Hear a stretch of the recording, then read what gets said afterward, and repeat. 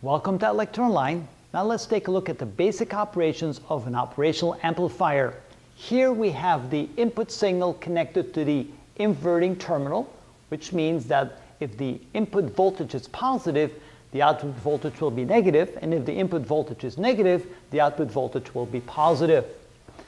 To make it easy, let's assume to start off with that this is a positive input voltage. Also notice that the negative and plus signs here have really nothing to do with the polarity of the input voltage or the output voltage. These are simply, the negative simply means that's the inverting terminal, and the plus here simply means that's the non-inverting terminal.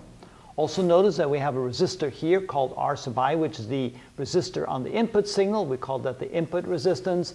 And here we have the resistance connected to the output signal. This is called R sub F for feedback resistor because it kind of feeds back the signal back to the input.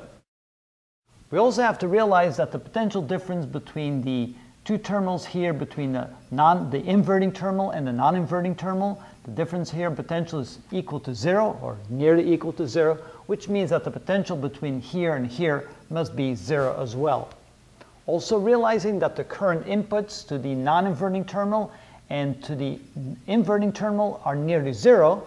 So the only currents at A are only from R sub I and R sub F, as indicated here. Now let's assume for a moment that this is a positive input voltage, that the current is flowing in this direction, that this is a negative output voltage, so the current through RF will go in that direction as well. Then using the Kirchhoff's rule for uh, currents at a junction, we can then say that the current I sub i, the current on the input, must be equal to the sum of the currents leaving that junction, and that would be equal to I sub f, plus 0, 0 of course being the current to the non-inverting terminal. I just wrote the plus 0 so you can see that I'm not forgetting about that third connection there. And then we can say that using Ohm's law, the current is equal to the voltage divided by the resistance. The voltage difference would be V sub A minus V sub I. That would be V sub A minus V sub I divided by R sub I must be equal to the voltage difference here. That would be V sub O minus V sub A divided by R sub F.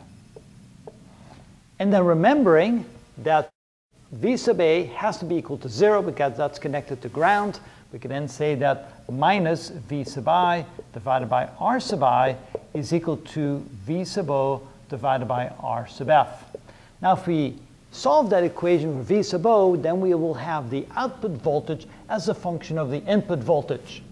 In other words, V sub O is equal to the negative of V sub I, and that of course that makes it an inverting operational amplifier, times the ratio, uh, that would be here R sub F divided by R sub I.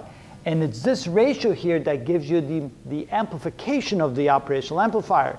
For example, if the ratio is 5 to 1, then the input voltage or the output voltage will be 5 times the input voltage, although, of course, the negative of that.